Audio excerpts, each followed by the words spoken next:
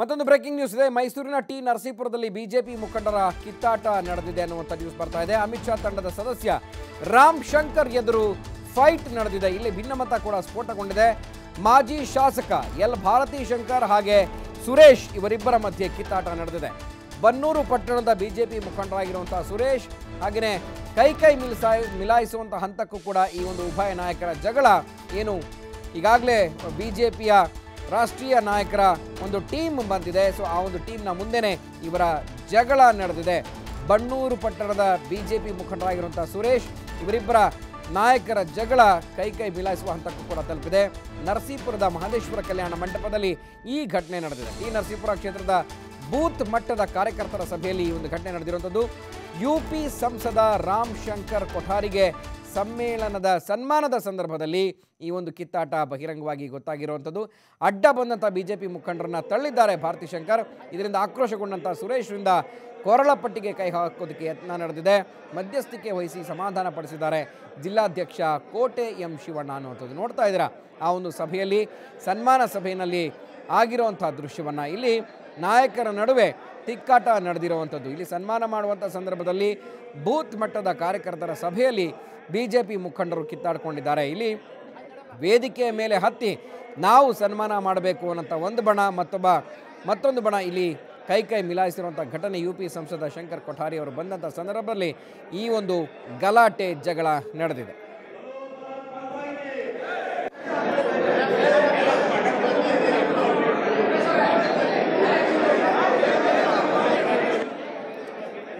S ಈ ಬಗ್ಗೆ ಹೆಚ್ಚಿನ ಮಾಹಿತಿಯನ್ನು ಕೊಡೋದಕ್ಕೆ ನಮ್ಮ ಮೈಸೂರಿನ ಪ್ರತಿನಿಧಿ ಸುರೇಶ್ ನೇರ ಸಂಪರ್ಕದಲ್ಲಿದ್ದಾರೆ. ಸುರೇಶ್, ಒಂದು ಕಡೆ ಬಿಜೆಪಿ ಮಾಸ್ಟರ್ ಪ್ಲಾನ್ ಅನ್ನು ಮಾಡ್ತಾ ಇದೆ. ಮೈಸೂರಿನಲ್ಲಿ ಶತಾಯಗತಾಯ ಚಾಮುಂಡೇಶ್ವರಿ ವಿಧಾನಸಭಾ ಕ್ಷೇತ್ರದಲ್ಲಿ ಸಿಎಂ ಅಭ್ಯರ್ಥಿಯನ್ನು ಸೋಲಿಸಲೇಬೇಕು ಸಿದ್ದರಾಮಯ್ಯನವರ ಸೋಲಿಸಲೇಬೇಕು ಅಂತ ಈಗಾಗಲೇ ಕೇಂದ್ರದ ಒಂದು ಟೀಮ್ ಕೂಡ ಬಂದಿದೆ.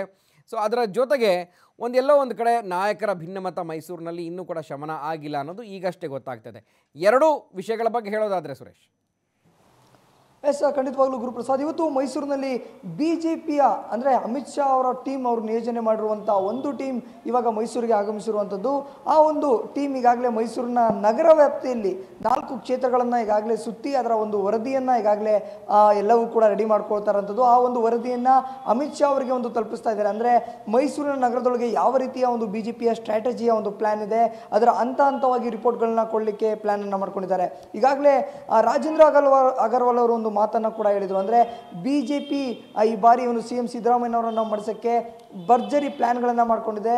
ನಮ್ಮ ಒಂದು ಉದ್ದೇಶ, ನಮ್ಮ ಗುರಿ ಇರೋದೇ ಸಿ ಎಂ ಸಿದ್ದರಾಮಯ್ಯನವರನ್ನ ಚಾಮುಂಡೇಶ್ವರಿ ಕ್ಷೇತ್ರದಲ್ಲಿ ಒಂದು ಮಣಿಸೋದು. ಹಾಗಾಗಿ ಅಚ್ಚರಿಯ ಒಂದು ಅಭ್ಯರ್ಥಿಯನ್ನು ಹಾಕ್ತೀವಿ ಅನ್ನೋ ಒಂದು ಮಾತುಗಳನ್ನು ಈಗಾಗಲೇ ಬೆಳಗಿನ ಒಂದು ಪ್ರೆಸ್ ಮೀಟ್ನಲ್ಲಿ ಹೇಳಿರುವಂಥದ್ದು. ಹಾಗೆ ಮೈಸೂರಿನ ಟಿ ನರಸೀಪುರದಲ್ಲೂ ಕೂಡ ಮತ್ತೊಂದು ಟೀಮ್, ಅಂದರೆ ರಾಮಶಂಕರ್ ಏನಿದ್ದಾರೆ ಆ ಒಂದು ಟೀಮ್ ಈಗಾಗಲೇ ನರಸೀಪುರ ಒಂದು ಪಟ್ಟಣದಲ್ಲೂ ಕೂಡ ಒಂದು ಸಭೆಯನ್ನು ಮಾಡ್ತಾ ಇದೆ. ಬೂತ್ ಮಟ್ಟದ ಕಾರ್ಯಕರ್ತರ ಒಂದು ಸಭೆಯಲ್ಲಿ ಈಗಾಗಲೇ ಎಲ್ಲ ರೀತಿಯ ಒಂದು ಸಿದ್ಧತೆಗಳನ್ನು ಮಾಡ್ಕೋತಿದ್ರು. ಆದರೆ ರಾಮಶಂಕರ್ ಅವರಿಗೆ ಒಂದು ಸನ್ಮಾನ ಮಾಡುವಂಥ ಸಂದರ್ಭದಲ್ಲಿ ಇಲ್ಲಿನ ಕೆಲ ಮುಖಂಡರುಗಳು ಒಂದು ಮುಗಿ ಬೀಳ್ತಾರೆ. ನಾನು ಮಾಡಬೇಕು, ಅವರಿಗೆ ಒಂದು ಸನ್ಮಾನ, ನಾನು ಮಾಡಬೇಕು ಅಂತೇಳಿ ಮುಗಿ ಬೀಳ್ತಾರೆ. ಆ ಒಂದು ಸಂದರ್ಭದಲ್ಲಿ ಎಲ್ರಿಗೂ ಕೂಡ ಅಂದರೆ ಹಿಂದೆ ಮಾಜಿ ಶಾಸಕರಾದಂಥ ಭಾರತಿ ಶಂಕರ್ ಅವರಿಗೆ ಒಂದು ಕೋಪ ಬರುತ್ತೆ. ಅಂದರೆ ನಾನು ಇಲ್ಲಿ ಮಾಜಿ ಶಾಸಕನಾಗಿದ್ದೇನೆ, ಆದರೆ ಇಲ್ಲಿ ಕೆಲ ಒಂದು ಪಟ್ಟಣದ ಬೂತ್ ಮಟ್ಟದ ಅಧ್ಯಕ್ಷರು ಬಂದು ಈ ರೀತಿಯಾಗಿ ಮಾಡ್ತಾ ಇದ್ದಾರೆ ಅಂತೇಳಿ. ಹಾಗಾಗಿ ಅವರನ್ನ ತಳ್ಳುವಂಥ ಕೆಲಸಕ್ಕೆ ಈಗಾಗಲೇ ಬನ್ನೂರು ಪಟ್ಟಣದ ಒಂದು ಸುರೇಶ್ನನ್ನ ಒಂದು ತಳ್ಳುವಂಥ ಕೆಲಸಕ್ಕೆ ಭಾರತಿ ಶಂಕರ್ ಮುಂದಾಗ್ತಾರೆ. ಆ ಸಂದರ್ಭದಲ್ಲಿ ಅವರಿಗೆ ಒಂದು ಕೋಪ ಬಂದಂಥ ಸಂದರ್ಭದಲ್ಲಿ ಕೈ ಕೈ ಮಿಲ್ಲಾಯಿಸುವ ಒಂದು ಹಂತಕ್ಕೆ ಆಗುತ್ತೆ. ಈ ಸಂದರ್ಭದಲ್ಲಿ ಕೊರಳಪಟ್ಟಿಗೆ ಒಂದು ಕೈ ಹಾಕುವ ಯತ್ನವೂ ಕೂಡ ನಡೆಯುತ್ತೆ. ಈ ಒಂದು ಸಂದರ್ಭದಲ್ಲಿ ಅಲ್ಲಿರುವಂಥ ಎಲ್ಲ ಒಂದು ಕಾರ್ಯಕರ್ತರು ಒಂದು ಆಕ್ರೋಶ ವ್ಯಕ್ತಪಡಿಸ್ತಾರೆ. ತದನಂತರ ಗಲಾಟೆ, ಗದ್ದಲಗಳು ಕೂಡ ಶುರುವಾಗುತ್ತೆ. ತದನಂತರ ಕೋಟೆ ಶಿವಣ್ಣ ಜಿಲ್ಲಾಧ್ಯಕ್ಷರು ಏನಿದ್ದಾರೆ, ಅವರ ಒಂದು ನೇತೃತ್ವದಲ್ಲಿ ಸುರೇಶ್ ಮತ್ತೆ ಭಾರತ ಶಂಕರ್ ಇಬ್ಬರನ್ನು ಕೂಡ ಒಂದು ಸಮಾಧಾನ ಮಾಡುವ ಒಂದು ಕೆಲಸಕ್ಕೆ ಮುಂದಾಗ್ತಾರೆ. ಆದರೆ ಈ ಒಟ್ಟಾರೆ ಪ್ರಕರಣಗಳನ್ನ ನೋಡೋದಾದ್ರೆ ಎರಡು ಪ್ರಕರಣಗಳು.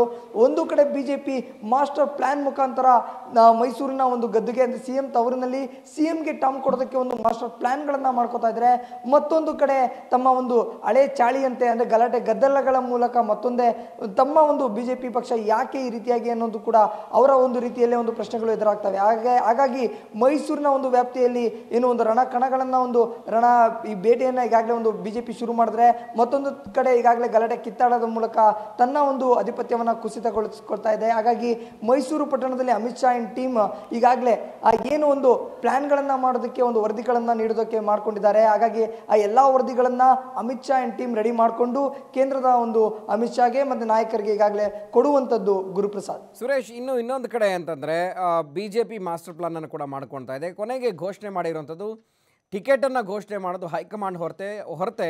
ವಿನಃ ಬೇರೆ ಇನ್ಯಾರೂ ನಾಯಕರಲ್ಲ, ರಾಜ್ಯದ ನಾಯಕರು. ಇಲ್ಲಿ ಯಾರು ಕೂಡ ಆ ಒಂದು ಶಕ್ತಿಯನ್ನು ಕೊಟ್ಟಿಲ್ಲ. ಸೊ ಯಾರು ಕೂಡ ಪರ್ಫಾರ್ಮ್ ಮಾಡೋಕ್ಕಾಗೋದಿಲ್ಲ ಅನ್ನುವಂಥದ್ದು. ಅದರ ಜೊತೆಗೆ ಈಗ ಭಿನ್ನಮತ ಏನು ಸ್ಫೋಟಗೊಳ್ತಾ ಇದೆ? ಎಲ್ಲೋ ಒಂದು ಕಡೆ ಅಮಿತ್ ಶಾ ಅವರ ಟೀಮ್ ಬಂದಿದೆ ಅನ್ನೋದ್ರ ಮುಖಾಂತರ ಅವರು ತೋರಿಸ್ಕೊಳ್ಳೋದಕ್ಕೆ ಮುಂದಾದ್ರೆ ಅಥವಾ ಅಲ್ಲಿ ನಿಜವಾಗ್ಲೂ ಭಾರತೀ ಶಂಕರ್ ಏನಿದ್ದಾರೆ, ಹಾಗೆ ಸುರೇಶ್ ಏನು ಜಿಲ್ಲಾಧ್ಯಕ್ಷರಿದ್ದಾರೆ ಅಥವಾ ಶಿವಣ್ಣ ಅವರಿದ್ದಾರೆ, ಅಲ್ಲಿ ಏನಾದರೂ ಮುಸುಕಿನ ಗುದ್ದಾಟ ನಡೀತಾ ಇದೆ. ಒಟ್ಟಾರೆ ಮೈಸೂರು ಕ್ಷೇತ್ರವನ್ನು ಗಮನಿಸ್ಕೊಂಡ್ರೆ ಬಿ ಜೆ ಯಾವ ರೀತಿ ಇದೆ ಅಂತ ಸದ್ಯದ ಮಟ್ಟಿಗೆ?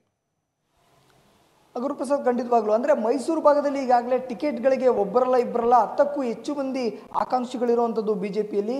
ಹಾಗಾಗಿ ನಾವು ಕೇಂದ್ರದ ನಾಯಕರು ಅಥವಾ ಅಮಿತ್ ಶಾ ಟೀಮ್ ಅವರು ಕಳಿಸಿರುವಂಥ ಸದಸ್ಯರೇನಾದರೂ ಅವರ ಮುಂದೆ ನಾವೇನಾದರೂ ಒಂದು ರೀತಿಯಲ್ಲಿ ಗುರುತಿಸ್ಕೋಬೇಕು ಅನ್ನೋದಾದ್ರೆ ಅದು ಈ ರೀತಿಯಾಗಿ ಗುರುತಿಸ್ಕೊಳ್ಳೋದಕ್ಕೆ ಕೆಲ ಮುಖಂಡರು ಮುಂದಾಗ್ತಿರುವಂಥದ್ದು. ಹಾಗಾಗಿ ಈ ರೀತಿಯಾಗಿ ಗುರುತಿಸ್ಕೊಂಡ್ರೆ ಅವರಿಗೆ, ಅಂದ್ರೆ ಪ್ರಬಲವಾಗಿ ಈತ ಟಿಕೆಟ್ ಆಕಾಂಕ್ಷಿ, ಪ್ರಬಲವಾಗಿ ಈತ ಹೆಚ್ಚಿನ ಒಂದು ಮುಖಂಡ ಇಲ್ಲಿನ ಒಂದು ಭಾಗದಲ್ಲಿ ಅನ್ನೋದು, ಅಲ್ಲಿನ ಒಂದು, ಅಂದ್ರೆ ಅಮಿತ್ ಶಾ ಟೀಮ್ ಟೀಮ್ ಸದಸ್ಯರು ಏನು ಬಂದಿದ್ದಾರೆ ಅವರಿಗೆ ಗೊತ್ತಾಗುತ್ತೆ. ಅವರ ಹೆಸರುಗಳನ್ನು ನೋಟ್ ಮಾಡಿಕೊಂಡು ಅಮಿತ್ ಶಾ ಅವರಿಗೆ ಒಂದು ಏನು ಒಂದು ಪತ್ರವನ್ನು ಅಥವಾ ವರದಿಯನ್ನು ಕೊಡ್ತಾರೆ. ಆ ಸಂದರ್ಭದಲ್ಲಿ ಈ ರೀತಿಯಾದಂಥ ವ್ಯಕ್ತಿ ಆ ಒಂದು ಭಾಗದಲ್ಲಿ ಸ್ಟ್ರಾಂಗ್ ಆಗಿದ್ದಾನೆ.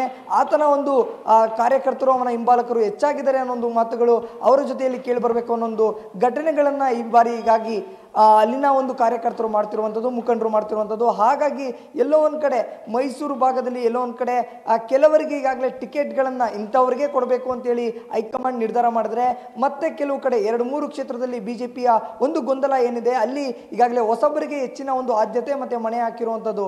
ಹಾಗಾಗಿ ಈ ಬಲಿ ಏನು ಅಂದರೆ, ಆ, ಪ್ರಮುಖವಾಗಿ ಅಲ್ಲಿನ ಮುಖಂಡರು ಗುರುತಿಸ್ಕೊಳ್ಳೋದಕ್ಕೆ ಹೆಚ್ಚಿನದಾಗಿ ಈ ರೀತಿಯಾಗಿ ಗಲಾಟೆ ಗದ್ದಲಗಳು ಮಾಡ್ತಿದಾರೋ ಅನ್ನೋ ಒಂದು ಪ್ರಶ್ನೆ ಕೂಡ ಕಾಡುತ್ತೆ. ಈಗಾಗಲೇ ಎಲ್ಲೋ ಒಂದು ಕಡೆ ಯಡಿಯೂರಪ್ಪ, ಯಡಿಯೂರಪ್ಪನವರು ಏನೋ ಒಂದು ಸಮಾವೇಶಗಳನ್ನ ಮಾಡ್ತಿದ್ರು.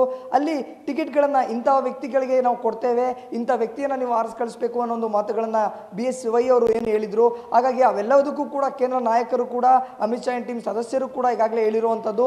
ಯಾವೊಬ್ಬ ನಾಯಕರಿಗೂ ಕೂಡ ಟಿಕೆಟ್ ಈಗಾಗಲೇ ಕನ್ಫರ್ಮ್ ಆಗಿಲ್ಲ. ಹಾಗಾಗಿ ಎಲ್ಲ ಒಂದು ಕಡೆ ಬಿ ಎಸ್ ವೈ ಅವರನ್ನು ಹೊರತುಪಡಿಸಿ ಯಾರಿಗೂ ಕೂಡ ಕನ್ಫರ್ಮ್ ಆಗಿಲ್ಲ. ಹೈಕಮಾಂಡ್ ಏನು ಸೂಚನೆ ಕೊಡುತ್ತೆ? ಅದೇ ಅನ್ನೋ ಒಂದು ಮಾತುಗಳನ್ನ ಹೇಳಿದ್ದಾರೆ. ಆದರೆ ಬಿ ಎಸ್ ವೈ ಸೂಚಿಸಿದಂಥ ಅಭ್ಯರ್ಥಿ ಯಾವಾಗ ಅವರಿಗೆ ಟಿಕೆಟ್ ಕನ್ಫರ್ಮ್ ಆಗುತ್ತೆ ಅನ್ನೋ ಒಂದು ಪ್ರಶ್ನೆಯಲ್ಲಿ ಕಾಡ್ತಿದ್ರೆ ಮತ್ತೆ ಟಿಕೆಟ್ ಆಕಾಂಕ್ಷಿಗಳು ಈ ರೀತಿಯಾಗಿ ಗಲಾಟೆ ಗದ್ದಲಗಳನ್ನ ಮಾಡಿಕೊಂಡು ತಮ್ಮ ಹೆಸರನ್ನ ಹೈಕಮಾಂಡ್ ವರೆಗೆ ಒಂದು ಸೂಚಿಸಬೇಕು ಅನ್ನೋ ಒಂದು ಮುಖಾಂತರವಾಗಿ ಈ ರೀತಿಯಾಗಿ ಮಾಡ್ಕೊತಾ ಇರುವಂಥದ್ದು Guruprasad. Okay thank you Suresh ತಮ್ಮೆಲ್ಲ ಮಾಹಿತಿಗೆ.